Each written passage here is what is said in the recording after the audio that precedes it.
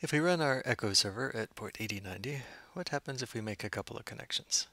So here I've made a connection, and here I can make another connection. When I type in this first connection here, then I get things hello. I get things echoed back like hello or goodbye. Um, if I type in the other one, like also hello, then uh, I don't get the echo back. In fact, I have to keep going over here until I'm done. And as soon as I quit there, then it starts echoing over here. So the problem with our echo server is currently it handles connections one at a time. That is, it goes into a loop and accepts a new connection, uh, as many connections as want to be made to the echo server. But after each connection, it runs the echo function to completion, until the client sends an EOF and then closes it and closes and then that's when it waits for the next connection.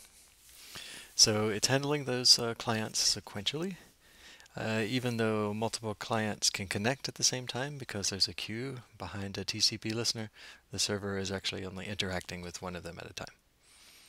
So today we're going to improve that behavior of the Echo server put that in picture form, we have a server with two clients, and let's suppose that client 1 connects slightly before client 2, enough that the accept there first accepts the connection from client 1.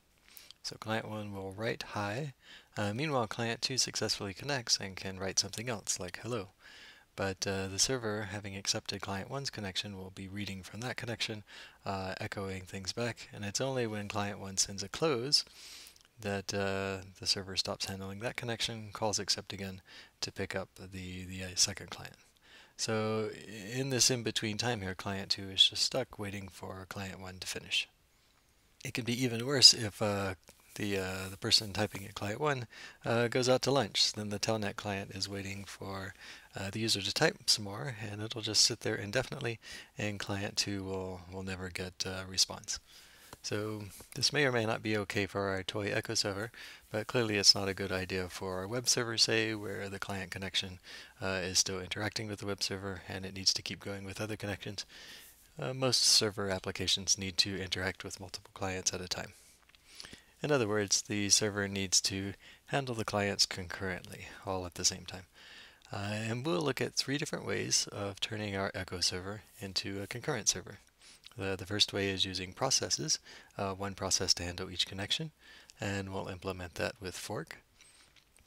The next thing we'll try is using threads instead of processes, and it'll be very similar to the process approach, but we'll use a function called pthread create instead of fork.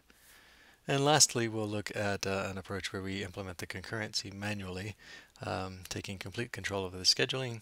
Uh, we call it multiplexed I.O or you could say that it's event driven because it's based on when things happen from clients uh, and the key function that we'll use there is called select.